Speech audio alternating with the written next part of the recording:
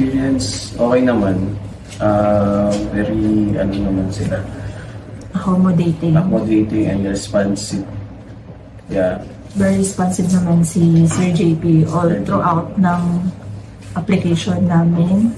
And friendly, very friendly Wala naman sila. naging problema sa process. Yes. Siya Naging yung smooth magka- naman. siya pa yung mayroong problema sa, sa process namin.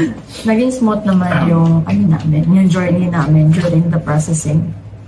Ah, very happy din kami dun sa outcome namin kasi Ng application. ng application dahil ah ginaid nila kami throughout Mhm. ng ano ng one after ng lodging and before ma-lodge na make sure naman nila na lahat ng documents namin is ano maayos. Lalo pa na-approve yung visa.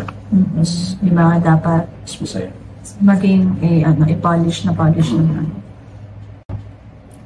Na feeling, personal choice ko yung CNC kasi feeling ko mas um, okay yung location and yung educational ano nila uh, yung educational offer nila is okay din